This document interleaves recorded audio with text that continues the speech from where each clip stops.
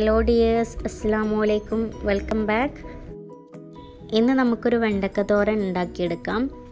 നല്ല ടേസ്റ്റിലും എളുപ്പത്തിലും ഒരു വെറൈറ്റി ആയിട്ടും നമുക്കിതെങ്ങനെ തയ്യാറാക്കിയെടുക്കുന്നത് എന്ന് നോക്കാം.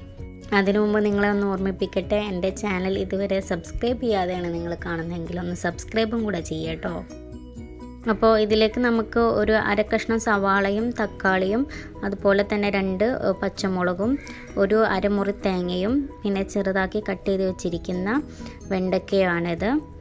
നമ്മൾ ചട്ടി ചൂടാൻ വെച്ചിട്ടുണ്ട്. അതിലേക്ക് വെളിച്ചെണ്ണ ഒഴിച്ചു കൊടുക്കാം. വെളിച്ചെണ്ണ നന്നായിട്ടൊന്ന് ചൂടായതിനു ശേഷം നമുക്ക് കടുക് പൊട്ടിച്ചെടുക്കാം. കടുകൊക്കെ നന്നായിട്ടൊന്ന് പൊട്ടിയതിന് ശേഷം നമുക്ക് ഇതിലേക്ക് കറിവേപ്പില ഇട്ട് കൊടുക്കാം.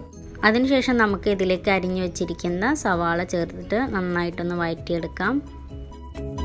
ഇനി നമുക്ക് ഇതിലേക്ക് ചെറുതാക്കി കട്ട് ചെയ്ത് വെച്ചിരിക്കുന്ന വെണ്ടയ്ക്ക ഇട്ട് കൊടുക്കാം. അതും ഇതിൽ നന്നായിട്ടൊന്ന് വഴറ്റിയെടുക്കണം. ഏകദേശം വെണ്ടയും സവാളയും നന്നായിട്ടൊന്ന് വഴണ്ട് വന്നിട്ടുണ്ട്. ഇനി നമുക്കിതിലേക്ക് കട്ട് ചെയ്ത് വെച്ചിരിക്കുന്ന പച്ചമുളകും തക്കാളിയും ചേർത്ത് കൊടുക്കാം.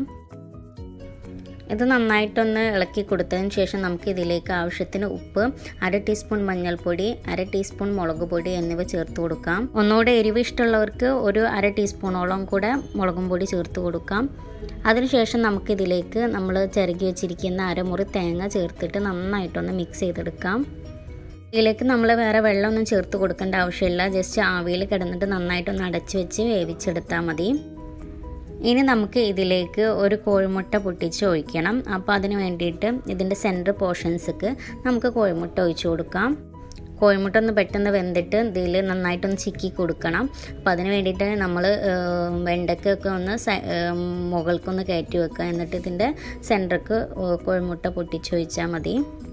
അതിനുശേഷം നമുക്കിത് നന്നായിട്ടൊന്ന് മിക്സ് ചെയ്തെടുക്കാം. വെണ്ടയും എഗ്ഗൊക്കെ നന്നായിട്ടൊന്ന് മിക്സ് ചെയ്തെടുക്കണം.